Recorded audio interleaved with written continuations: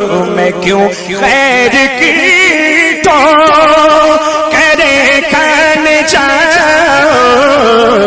मैं क्यों खैर की तो करे कान जाओ। तेरे दर से अपना गुजारा करो।